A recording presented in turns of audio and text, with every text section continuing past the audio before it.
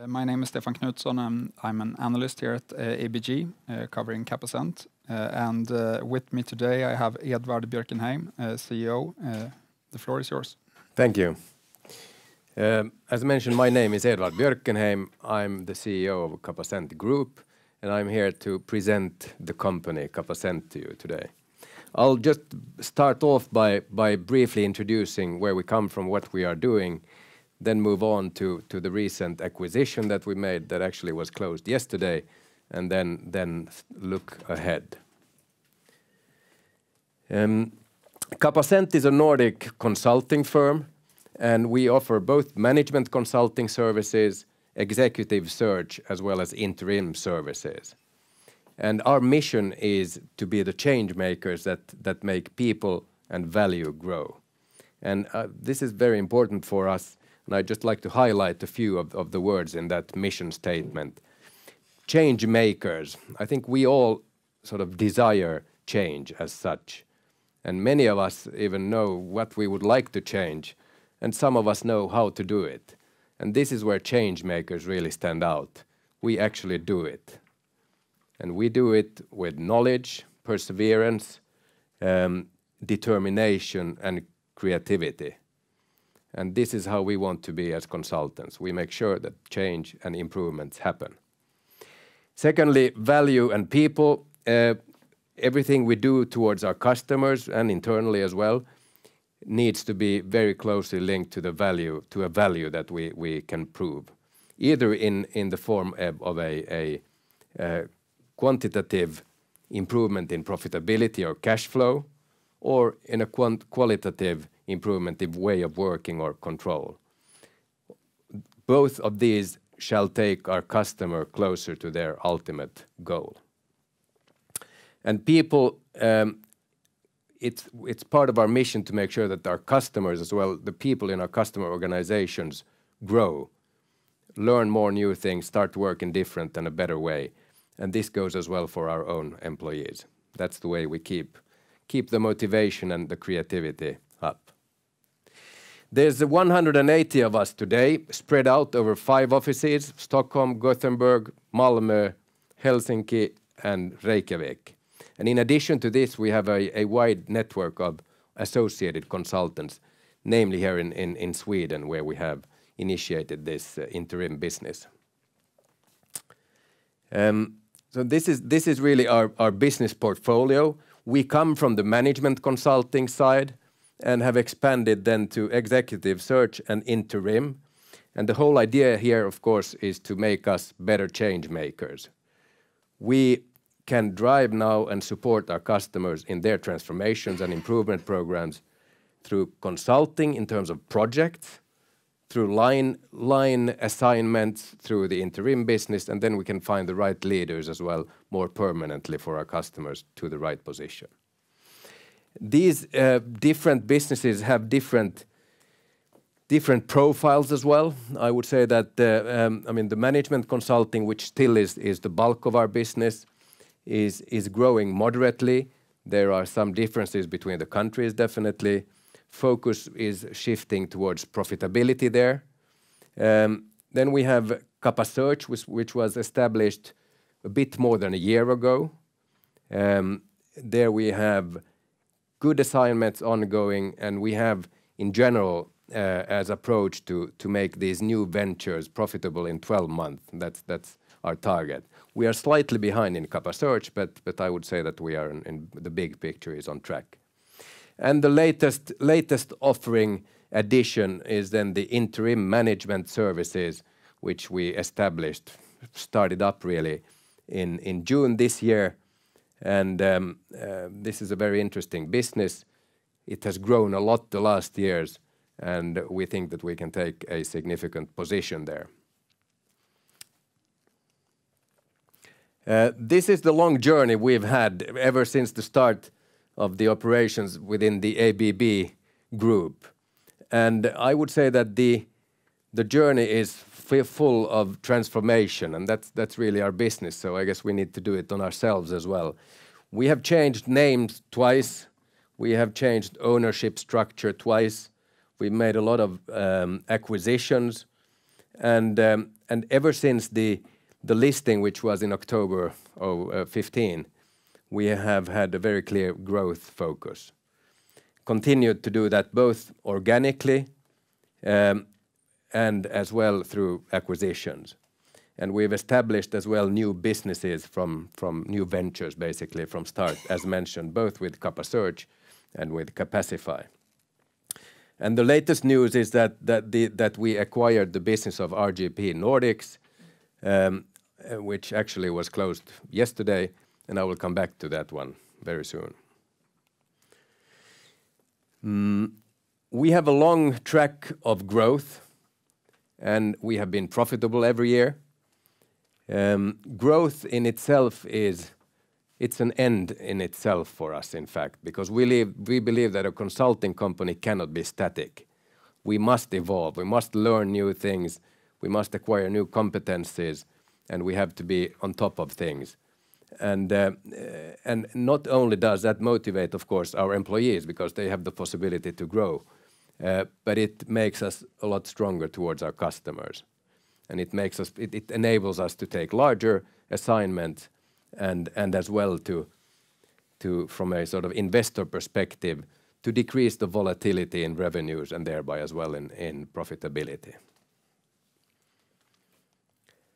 Now, just a few words on the acquisition of RGP Nordics, um, which uh, was signed two weeks ago and closed yesterday. Um, this was done through an asset deal where we acquired most of the assets of RGP Nordic, and namely customer contracts and employment contracts, and some other assets as well. We will take the whole cost of this transaction in Q3, and we have communicated that the cost will not uh, exceed 6.5 million kronor. After that, we are in a business as usual mode. And what we really want to achieve here is mainly four synergies that I'd like to lift up. First of all, we had this Capacify, which is basically a startup since June, and now suddenly we will get quite a big business, a significant business flowing into Capacify. So I would say that the startup phase was very short there, and now we are gradually becoming a significant player in that market as the main part, the bulk of the Uh, revenue from RGP uh, came from the interim business. Secondly, the other part of the business came from own sort of management consulting with own consultants, and there the focus has very clearly been on the on the finance side and the CFO agenda, um, with services like finance transformation, post-merger integration, which is very interesting, and then robotics, basically process automation. And this will really complement our services on the finance side as well, and we will have a lot bigger team there, uh, a combined team. Very good news. Um, thirdly, uh, if you look at the customer base, um, we don't have too much overlap there, meaning that there is a lot of potential, of course, to deepen those relationships and sell other services to same customers. And then finally, just I'd like to to raise the point that that as we are taking over the the sort of the business assets of that that operation, we will get in basically more gross revenue without impacting on our fixed costs. So we therefore believe that it will have a significant impact on our EPS. And then we have as well estimated that the top line will grow by 30 million-70 million. And Yes, I have to admit it's a very wide range. And I would say that if we if we uh end up at 30, then we will not be be happy at all. And if we end up at 70, then I think we have realized most of the of the synergies.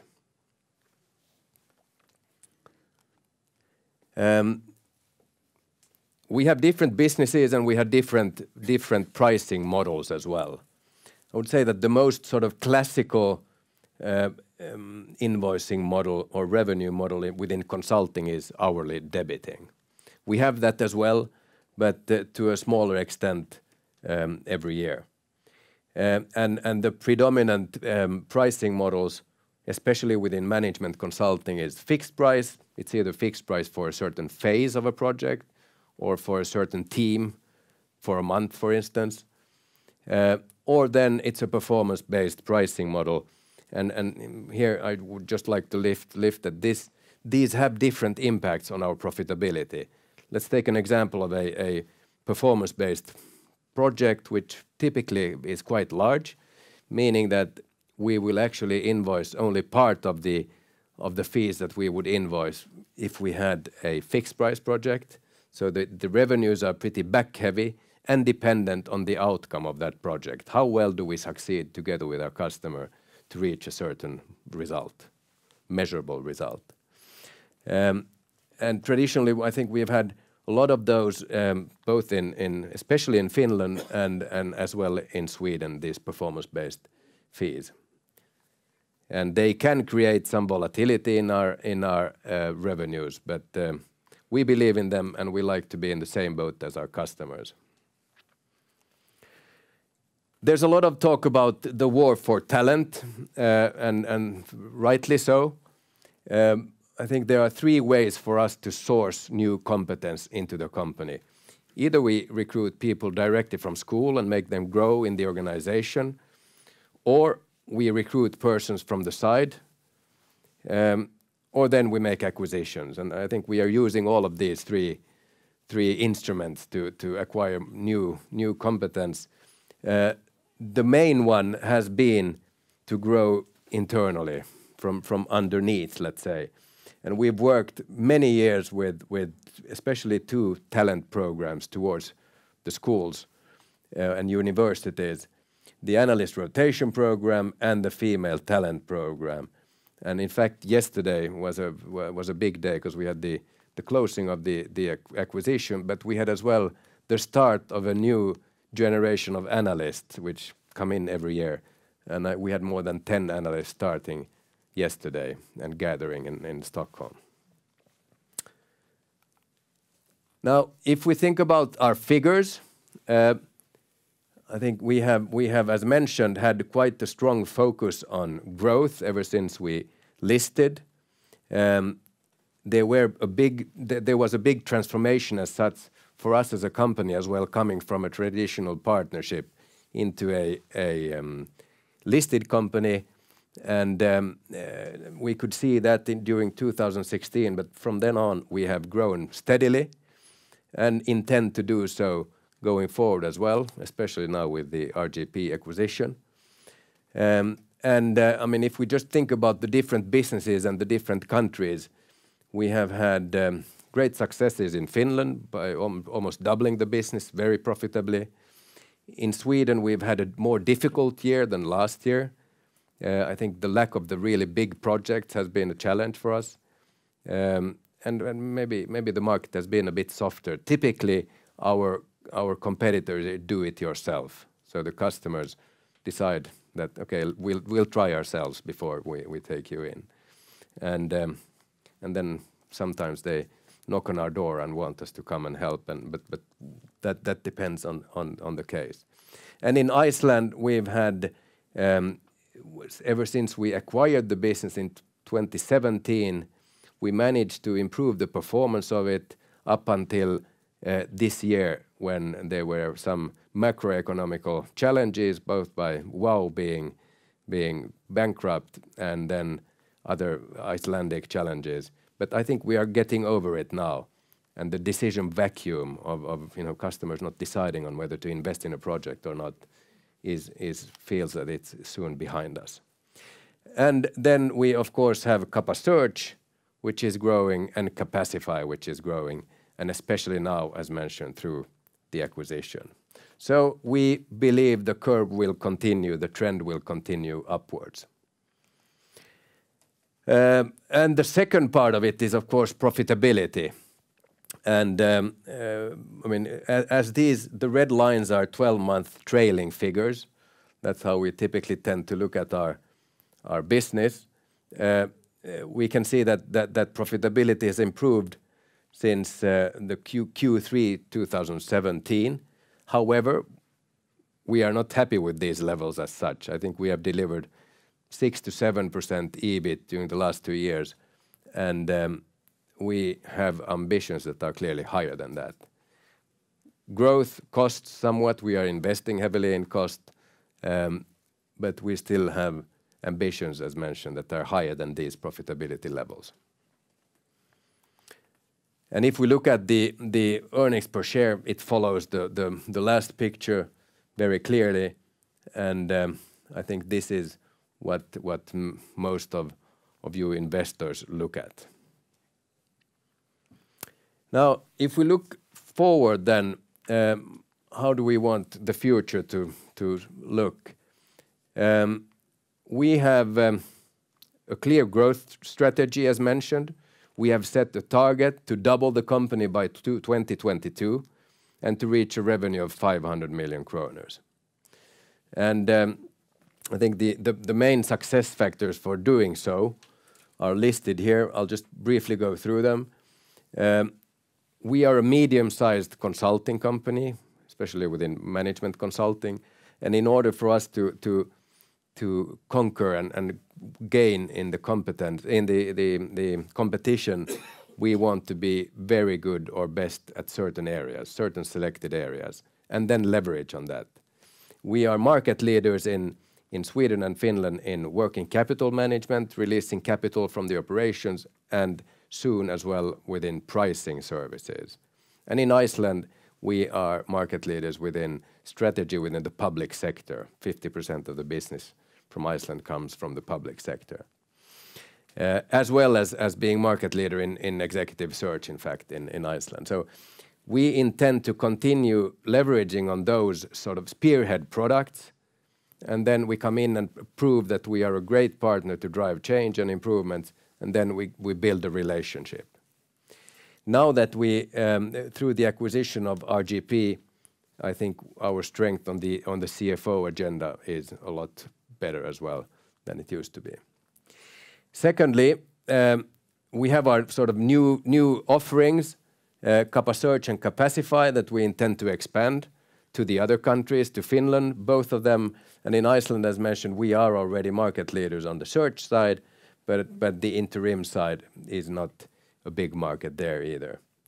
And we continuously evaluate new possibilities to add other services that would make us even more relevant for our customers. Technological capabilities, that's a very important point and goes hand in hand with really innovation in general. And there we have uh, we have actually gotten two new persons into our board that will really help help to drive both technology and innovation. So we start that development from the top ourselves. And um, this could be everything from being even better at robotics, which we are now in with the RGP acquisition, or technological partnerships in our deliveries. Uh, we have said that we want to expand to at least one new country, and then finally, we continue to work with getting the right persons on board to the Capacent family. Now, the share price is here. Um and if we recall the EPS picture two slides back, it looks pretty much alike, in fact. They look pretty much alike. And um, I think it's just a proof that investors really look at EPS in our case. Not too much else on that one. And then finally, I would just like to summarize why we believe that you investors should invest in Capacent. I think we, our business offering is quite unique coming from the management consulting side and um, expanding into search and uh, interim. Um, I think we are now growing both organically and through acquisitions, and we have a platform now for doing so. So we will get leverage on our fixed cost there. Um, Well, we are in a service business, so cash flow, it's a cash flow business, basically, and we believe that consulting companies should not be sitting on a big pile of money. So we pay out our profits basically yearly, unless we have a very good investment opportunity or some short-term working capital needs. Um, we have a track record in acquisitions. We've done quite a lot of them and we believe that we have learned from each and every and become better and better and in integrating the new businesses into our own operations and realizing the synergies. And then finally, one point that I would like to mention is the incentive program for key persons that we have redesigned and mentioned that in our quarterly report in Q2, where we previously had a profit share um, approach where key persons where we would allocate up to 20% of our EBITDA as a haircut Uh, and allocate it to our key persons. Now we have changed it around to make it really based on the value creation. How much value can we create in Capacent? Additional value, meaning that it will become an option-based program, and and the more value we can create, the more Capacent can grow in terms of value, the more our key persons will will get. So, but this will have a positive effect on our profit as well. That's it. Thank you, Edvard. Thank you. Uh, some questions. Uh, sure. You're now active within executive search and interim management. Yeah On top of the consulting business. Uh, are you happy with the current palette, or do you want to broaden it even further? We are definitely evaluating to broaden it further, yes. But we can see clear synergies in these. Um, let me take an example. We have a case currently where a company was, is doing quite badly financially, and the CEO was let go, and we could quickly come up come in with with an interim CEO who's now working there and doing a turnaround. And he needed he needed persons to help him do that turnaround, so we have three consultants in there, and we have as well been discussing to help out with the recruitment of the permanent CEO. So I think we'll just stabilize this offering now and realize the synergies, but at the same time, if we if we come up with something new, we'll use the opportunity. Okay. And in conjunction with this, you also divested Dividuals. Uh, yes In the summer. Uh, can you tell us a bit more about that and why it was divested? Uh, yes. Dividuals was actually our first sort of um, venture around two years ago, um, where we where we built an operation based on associated consultants, especially on the business intelligence side. And, and we had thoughts or expectations that it would grow extremely quickly, but it wasn't necessarily as sort of scalable as we thought. And um, therefore, we needed to change a bit the business model, and then we concluded together with with the persons running that business that it's better that they go their own way. And, and so it was quite not not dramatic at all, but it was divested then in the beginning of the year. Okay. Uh, and if we look at the profitability, uh, it differs a bit between your different regions. Mm Where Finland has performed uh, a bit better than Sweden and Iceland. Yeah.